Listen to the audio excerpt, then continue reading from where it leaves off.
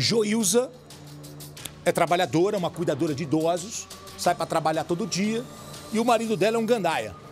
O marido dela gosta de estar na farra, de estar na bagunça. E a Joilza, em nome do amor, ela acaba perdoando algumas coisas. Ah, eu vou ficar, eu vou ficar. Não deveria, né? Ah, deu chance, deu chance. Bom, ela quer preservar o casamento e ela é casada com Joilson. E eles vivem numa casa. Passa um tempo, o Joilson tem uma amante, começa a se relacionar com outra mulher. Só que o Joilson sai espalhando na rua que não é amante, não. É a sua nova mulher. Mas ele não é casado com ela? É. Ele quer ter duas esposas. O cara fala: não, não, não, não, minha vida aqui, eu tenho, eu tenho muito amor para dar. Nunca vi isso. E ele leva essa segunda mulher para morar na casa com a Joilza. O pessoal fala aí agora, há um trisal. Só que a Joilza não quer saber de, de, dessas coisas, não. A cuidadora não gosta disso, fala assim: ó, acabou, acabou, eu quero uma separação. Ameaça. Aí começa uma onda de violência de Joilson para cima da mulher. E ele começa a ameaçar a esposa: se você for embora, eu vou te matar. Se você for embora, eu vou te matar. E a Joilza cria coragem para se separar. Joilson vai atrás dela e cumpre as ameaças. Ele ataca a mulher até a morte. Só que a população se revoltou e foi atrás dele.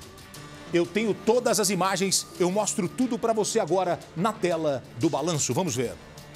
Uma câmera registrou o momento em que Joilson Batista Santos, marido de Joilza, derruba a cuidadora no chão e dá vários golpes nela.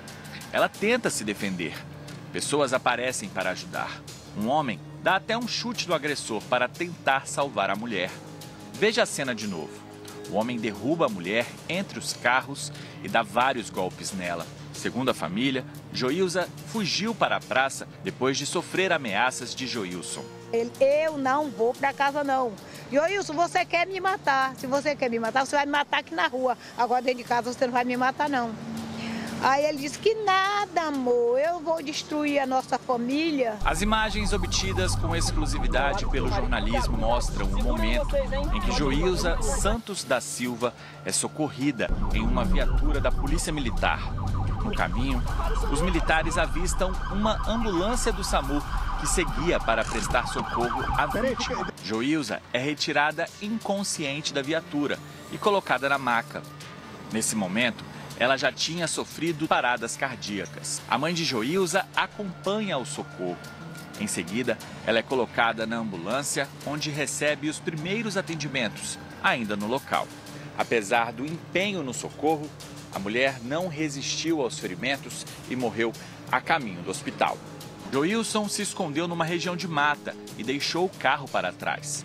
Foi aí que a população revoltada colocou fogo no veículo. O carro do cara que, que matou a mulher. Não demorou para o carro ser consumido pelo fogo. Joilson foi preso minutos depois do crime. Além de Joilza, Joilson tinha outra mulher, os três viviam na mesma casa, junto com os filhos. A mãe da vítima contou que a filha era obrigada a aceitar essa situação. Ela teve que aceitar. Teve que aceitar. Para não morrer, para não morrer a pessoa faz tudo. Ela não queria, foi uma imposição dele.